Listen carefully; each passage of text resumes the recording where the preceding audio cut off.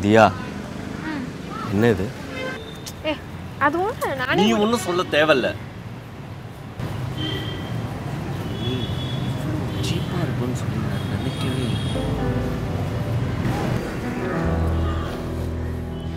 நான் இருக்கும்போதே உனக்கு சீ! அர்ஜுன்!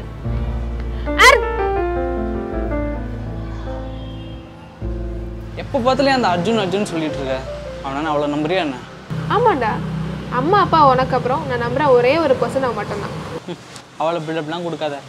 சந்தேகம் வந்தால் தெரிச்சிருவானுங்க. அவனை பற்றி உனக்கு என்ன தெரியும்? அவனை பற்றிலாம் எனக்கு தெரியாது.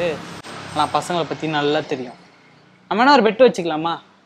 என்ன பெட்டு நீ ஒன்று பண்ணு. என் நம்பரை வேற ஒரு பையன் நேம் போட்டு சேவ் பண்ணி பக்கத்தில் ஹார்ட் இன் போட்டுக்கோ. இதான் கூட நாளைக்கு வெளியே போகிறல அப்போ நான் கால் பண்ணுறேன் அப்படி நான் கால் பண்ணும்போது அவன் சந்தேகப்பட்டுட்டானா நீ எனக்கு சார்மினாண்டா ஒரு பிரியாணி வாங்கி கொடுப்பேன் அப்படி அவன் சந்தேகம்லாம் படல. ரொம்ப கேஷுவலாக இருந்தானா அதே சார்மினால நான் உனக்கு பிரியாணி வாங்கி கொடுப்பேன். பெட்டு ஓகே தானே? ஓகே வச்சுக்கலாம் எனக்கு அவனை பற்றி நல்லா தெரியும். அவன் சந்தேகம்லாம் என்ன படவே மாட்டான்.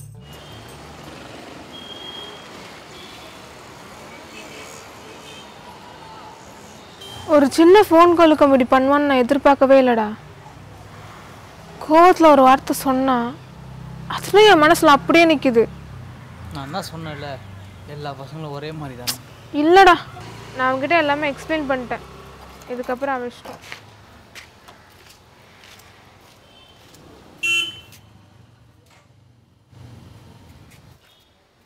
டேய் அம்மா வராங்களான்னு பார்த்துக்கோ